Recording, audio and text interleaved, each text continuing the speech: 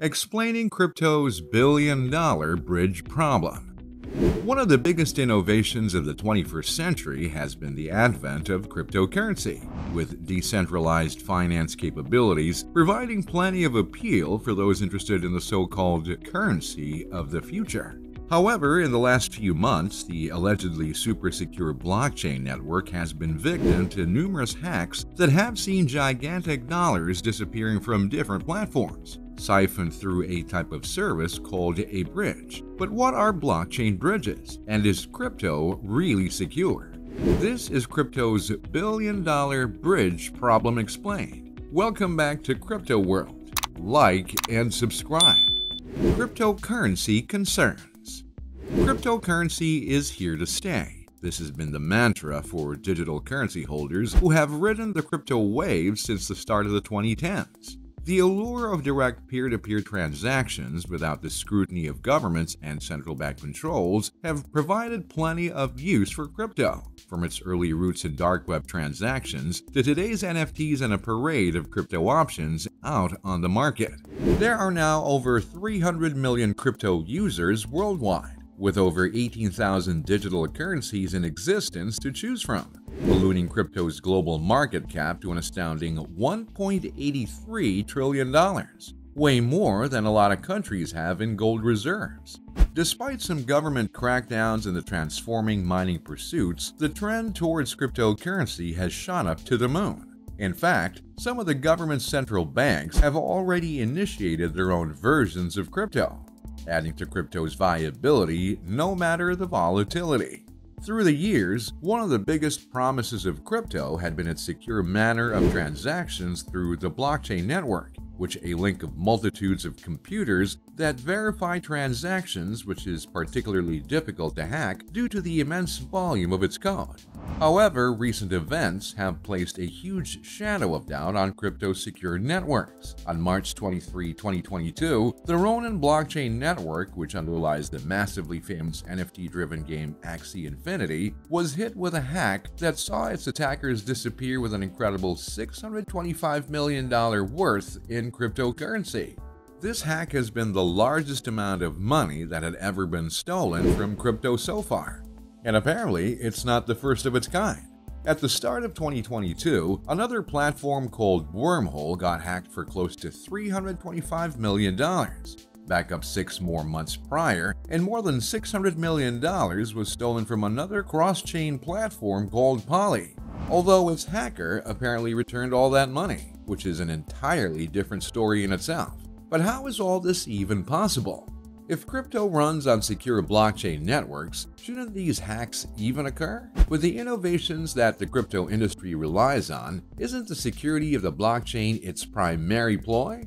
Apparently, this type of hack that the Ronin platform encountered was achieved from the type of service known as a blockchain bridge. Bridges connect one blockchain to another to affirm the value being sent between them.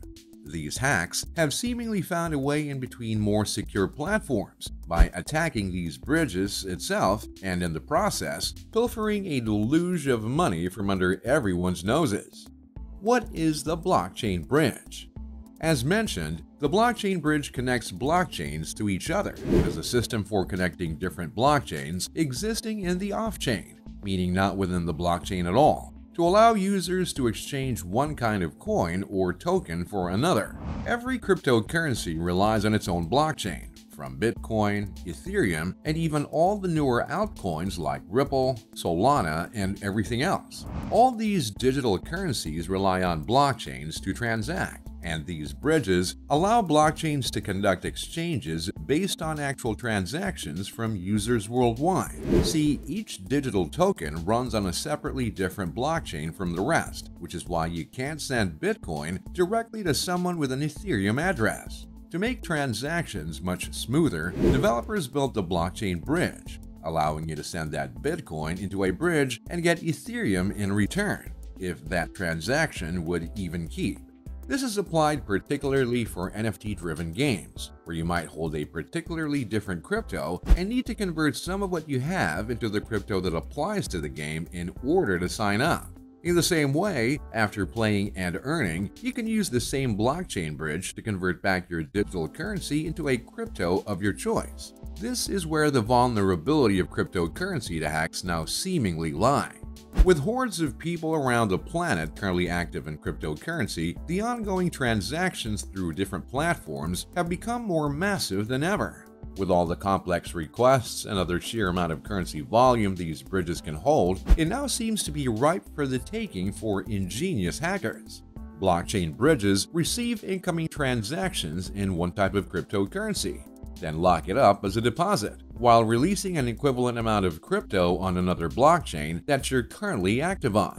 When these blockchain bridges get hacked, hackers are able to withdraw money from one side of the bridge without having to place any crypto in. And it seems from the recent Ronin, Wormhole, and Poly hacks that blockchain bridges could possibly be cryptocurrency's most vulnerable point of entry for these attacks. And considering the more than $1 billion in stolen cryptocurrency, the anxiety caused by this vulnerability is now more real than ever. There's more than $21 billion locked on Ethereum bridges alone, and these attacks make all that money seem fair game to just about any hacker intent at making a run for it. So the question is, is crypto less safe now? Before you put down your crypto curiosity, remember that crypto only started in the 2010s and only became relatively mainstream in the last few years. It is still at a relatively young age and is still under continuous development.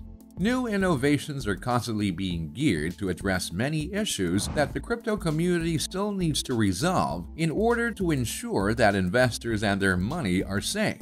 It seems as well that people need to understand that this issue highlights crypto's most vulnerable point, which are the blockchain bridges. But cryptocurrency still needs these bridges in order to continue transactions with other blockchains. In the case of Axie Infinity, they needed to adopt the bridge software to accelerate transactions within its network, which has seen quite an unprecedented surge over the last year. Aside from added efficiencies, the bridge also allowed Axie to reduce costs, since the Ethereum blockchain is expensive to run on especially with such a huge demand. Bridges provide what seem to be a homing beacon for adventurous and skilled hackers, all because of the complex code within it. It creates plenty of opportunities for exploitable bugs, allowing more chances of successful hacks from attackers. The thing is, in as much as bridges and blockchains are built on immense complex code, so are cryptocurrencies. Crypto isn't just a unit of money that can simply be taken out from a platform and hidden under the bed for safekeeping. They're all written in vaguely different programming languages that exist in different virtual spaces. The interaction of these blockchains itself, even though the bridges can be quite tough to follow, especially between multiple different coins. This makes figuring out what has gone wrong or who is particularly responsible very hard to track because the design or operation of these blockchain bridges remain highly anonymous, from its developers to its validators. As of yet, crypto users should understand that this issue needs to be addressed, with awareness currently being the main point of defense. While these issues have certainly raised concerns, it shouldn't put you down from having faith in the overall cryptocurrency ecosystem. Hackers are attacking bridges now because these are the weakest points in the system, but it might not be soon enough. The crypto industry has done quite a great job at securing just about everything else. We can look to the past and remember how centralized exchanges were the main points of hacking attacks, and the industry found a way to overcome that. With the rate of innovation and the value that cryptocurrency assets now hold, it's more than certain that this bridge concern will most certainly be another issue of the past. So what do you think about explaining crypto's billion dollar bridge problem? Let us know in the comments below. Like this video and subscribe to Crypto World for the necessities of everything related to the crypto economy.